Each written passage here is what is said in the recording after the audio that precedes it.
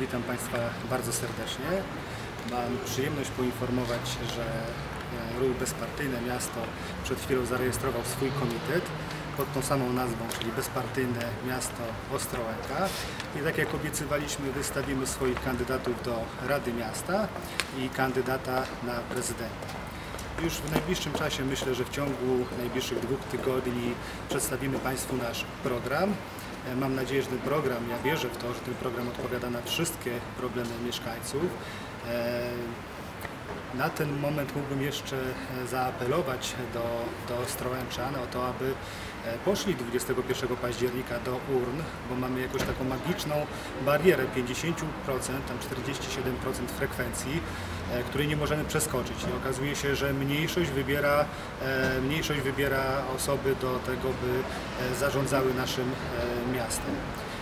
Z tego miejsca też chciałbym od razu zdementować plotki, takie wyssane z palca, wypowiadane na pewno przez e, konkurencyjne komitety, jakobyśmy byli e, PiS-BiS. No, proszę Państwa, no, nie wystawiamy swojego kandydata na prezydenta po to, żeby wesprzeć Janusza Kotowskiego. No, to się w ogóle mija z celem.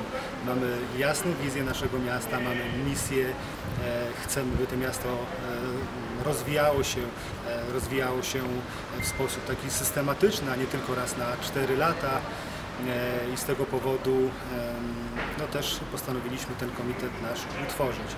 Sam komitet i osoby, które będą startowały z naszego komitetu są to ludzie z różnych środowisk, z różnych organizacji. E, To, co nam przyświecało, to to, aby osoby, które startują z naszego komitetu, były to osoby e, bezpartyjne, no bo uważamy, że mm, jednak to nie służy miastu. Partyniactwo nie służy miastu, wręcz przeciwnie, jeżeli mamy decyzje podejmowane z Warszawy, e, to one na pewno nie będą dobre dla Ostrołęki. My na samorząd patrzymy jak na organizm. Nie możemy naprawiać e, jednego organu, e, a drugi zaniedbać. To musi być synchronizowane, to musi być wszechstronne.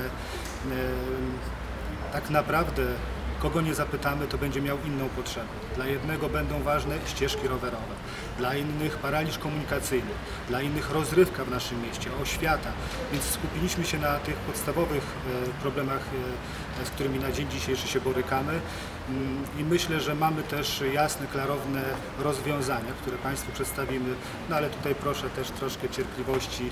E, Program pisaliśmy przez kilka miesięcy, konsultowaliśmy go z różnymi środowiskami, to były te środowiska i oświaty, i środowiska sportu, osób niepełnosprawnych, e, przedsiębiorców, młodych ludzi, więc mam nadzieję, że mm, mam nadzieję, ja wierzę i wiem, że trafiamy do e, szerokiego grona społeczeństwa naszego miasta.